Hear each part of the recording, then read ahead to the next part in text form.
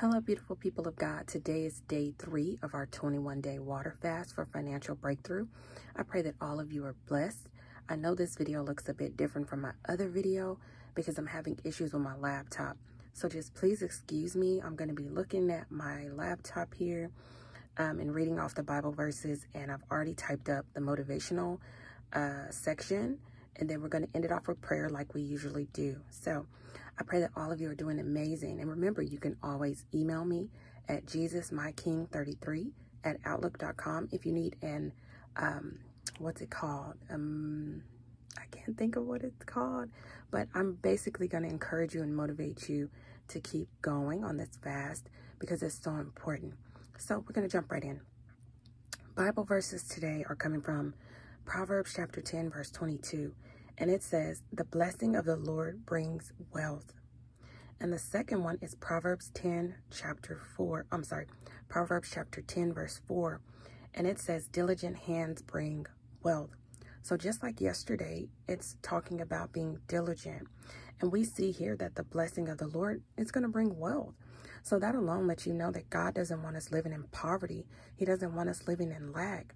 And so we need to make sure that um, we're reading the scriptures for ourselves because there are some people that believe that we are meant to be poor. We are supposed to just give up everything because of uh, the encounter that Jesus had with the rich man. But that was specifically for that rich man. And Jesus was saying how hard it was for the rich to enter the kingdom of heaven. He was not saying for all people that are, um, well, let me rephrase that. He's not saying that he doesn't want us to have wealth. He did not say that he doesn't want us to uh, be able to, to build and grow things.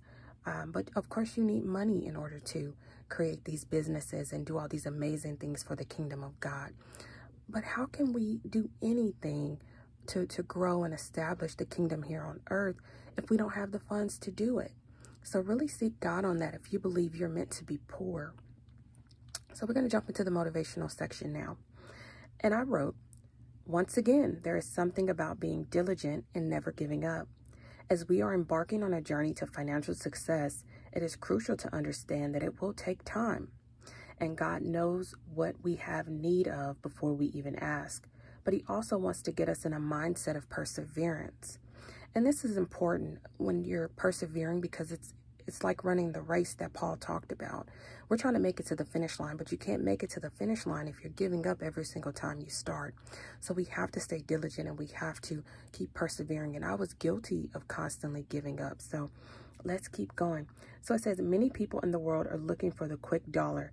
And oftentimes when a person gets a large amount of money, it is depleted very quickly. It is important to not only make money, but one must also know how to manage their money. If you are spending your money and not tracking your money, you will lose your money. God wants us to be mindful of the way in which we are living, and we must live within our means while looking ahead to the future. Taking these crucial steps will set us on a path of financial wealth and freedom to utilize the funds that we're making to create homeless shelters, beauty salons, recreational centers that are all for the glory of God. And so that's my motivational um, talk today for you guys, just to let you know, God doesn't want us to be poor. Solomon was wealthy. David was wealthy. Esther married into wealth. He doesn't want us to be um, poor. Joseph was second in command. He was wealthy.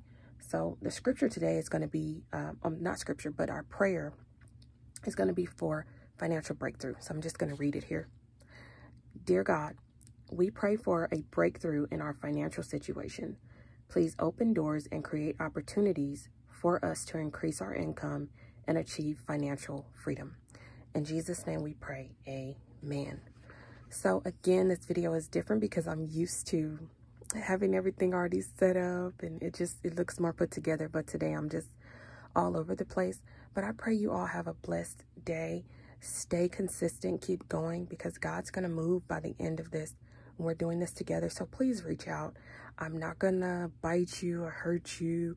I'm here to motivate, encourage, and uplift. So if you need an accountability partner, that's what it's called.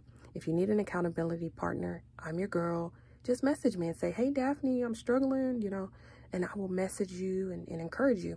That's what I do. So Be blessed, y'all. Until tomorrow.